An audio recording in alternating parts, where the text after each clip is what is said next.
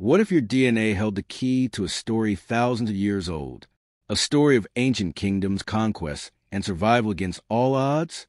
The Jewish people have endured for millennia, carry with them a culture, a faith, and a genetic legacy unlike any other.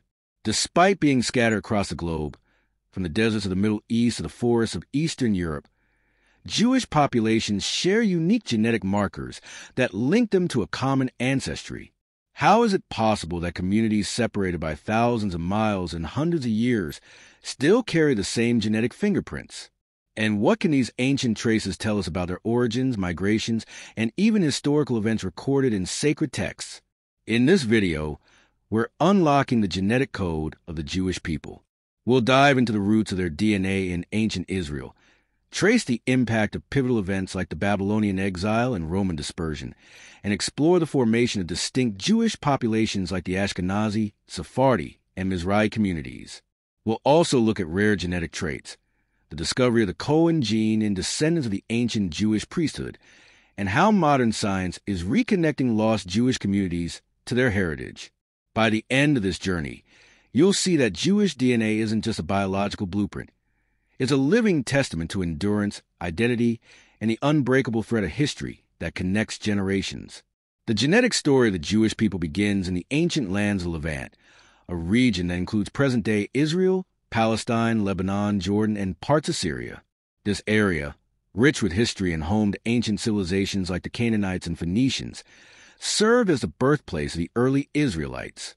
Modern genetic research confirms that Jewish populations today share a significant amount of genetic material with ancient Levantine peoples.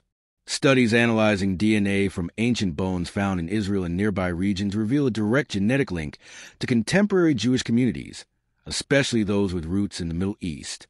This connection is so strong that scientists can pinpoint shared ancestry dating back over 3,000 years. One of the most compelling pieces of evidence comes from the analysis of mitochondrial DNA, which is passed down to the maternal line, and the Y chromosome, inherited through the paternal line. These genetic markers show that Jews from vastly different regions, like Morocco and Russia, share distinct genetic sequences that trace back to the same ancient population. Interestingly, Jews also carry genetic markers found in neighboring Middle Eastern populations like the Druze and Lebanese people, further emphasizing their ancient regional origins. But what makes Jewish DNA unique is a combination of these ancient roots with centuries of migration, adaptation, and survival in foreign lands.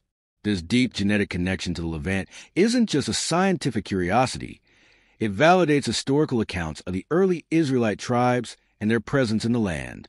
It shows that Jewish identity is quite literally etched into their DNA, forming a biological bond to land that shaped their culture, religion, and sense of belonging. This ancient genetic signature would endure through centuries of upheaval. But the next chapter in the story will be written in exile. Jewish DNA tells a story not just of origins, but survival through some of history's most brutal upheavals.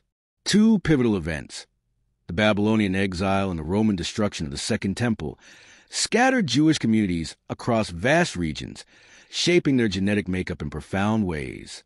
In 586 BCE, the Babylonians conquered Jerusalem, destroyed the First Temple, and forced much of the Jewish population into exile in Babylon, modern day Iraq. While some Jews eventually returned to rebuild Jerusalem, others remained, creating long lasting Jewish communities in Mesopotamia and Persia. Genetic studies show traces of this ancient migration, with modern Iraqi and Iranian Jews carrying markers that link them to Levant, but also show subtle influences from surrounding populations. Centuries later, in 70 CE, the Roman Empire crushed the Jewish revolt, destroyed the Second Temple, and expelled countless Jews from Judea. This event marked the beginning of the Jewish diaspora, with communities spreading to North Africa, Europe, and the Middle East. As Jews settled in new lands, their DNA began to mix with local populations. But surprisingly, core genetic traits tied to their Levantine ancestors remained remarkably preserved. For example, Ashkenazi Jews who settled in Eastern Europe share genetic signatures with Sephardic Jews from Spain and Mizrahi Jews from the Middle East, despite being separated by thousands of miles for centuries. Geneticists estimate that around 80% of Ashkenazi Jews' maternal ancestry can be traced back to ancient Israel, demonstrating how tightly Jewish communities held on to their heritage despite external pressures. The genetic legacy of exile is a testament to the Jewish people's resilience. Their DNA carries the scars of displacement, but also the strength of continuity.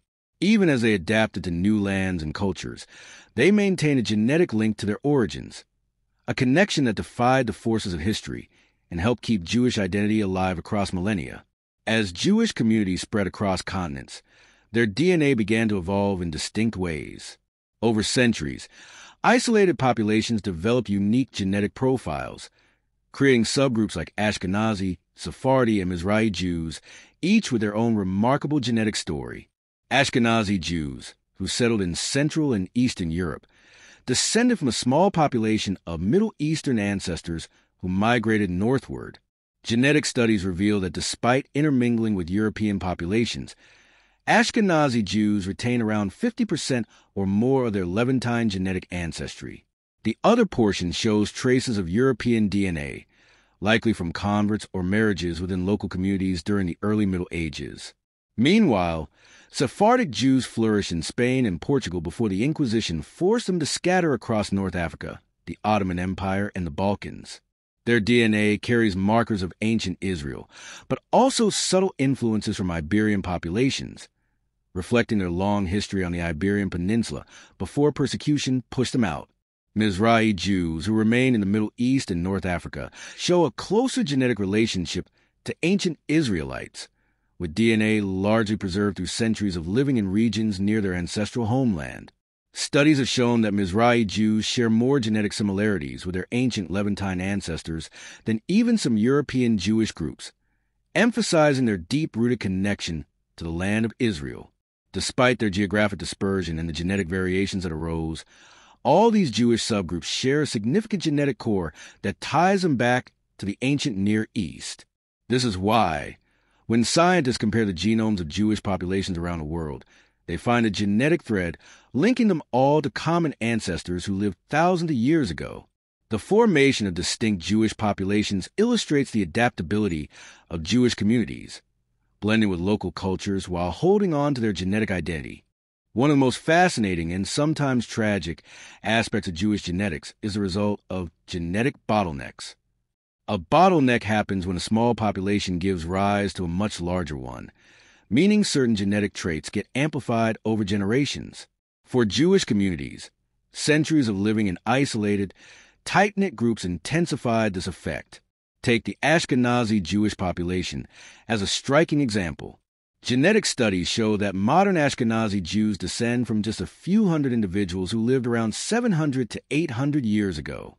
Because of the small founding population, certain gene variants became much more common than in the general population. This explains why Ashkenazi Jews have higher rates of inherited conditions like Tay Sachs disease, Gaucher disease, and certain BRCA mutations linked to breast and ovarian cancers. These inherited traits, while posing serious health risks, have also provided scientists with a unique opportunity to study human genetics. For instance, the high prevalence of BRCA mutations in Ashkenazi Jews has helped researchers understand these canceling genes more deeply, leading to earlier screenings and life saving preventive measures for those at risk. But bottlenecks didn't just affect Ashkenazi Jews. Sephardic and Mizrahi populations, while genetically diverse, also show traces of bottlenecks due to centuries of living in smaller, relatively isolated communities. For example, Certain blood disorders, like beta thalassemia, are more common in Jews from the Middle East and North Africa, another imprint left by genetic drift. Yet, this genetic legacy isn't just about disease, it's also a living record of resilience. Despite countless challenges, forced migrations, persecution, and the destruction of entire communities, the Jewish people endured. Their DNA tells a story not just of survival, but of adaptation and perseverance carrying the genetic fingerprints of ancestors who weathered centuries of upheaval.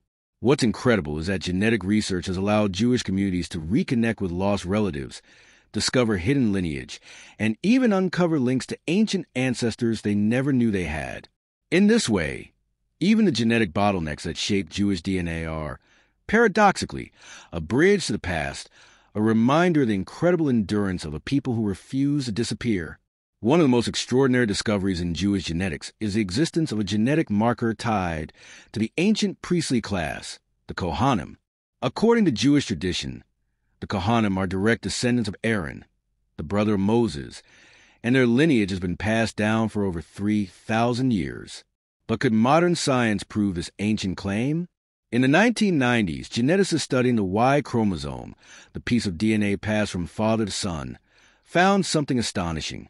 They identified a specific genetic signature, known as the Cohen modal haplotype, CMH, that appeared with striking frequency in men who identified as Kohanim. This haplotype was found in around 50 to 60 percent of Ashkenazi and Sephardic men who trace their ancestry to the priesthood, suggesting a shared paternal ancestor from thousands of years ago. What's even more remarkable is the timeline. By studying mutation rates, Researchers estimated that this genetic signature could trace back to a single male ancestor who lived around 3,000 years ago, aligning almost perfectly with the biblical timeline of Aaron. This discovery added scientific weight to millennia of oral tradition, linking modern Jews to their ancient ancestors through an unbroken chain of DNA. But the implications go even further.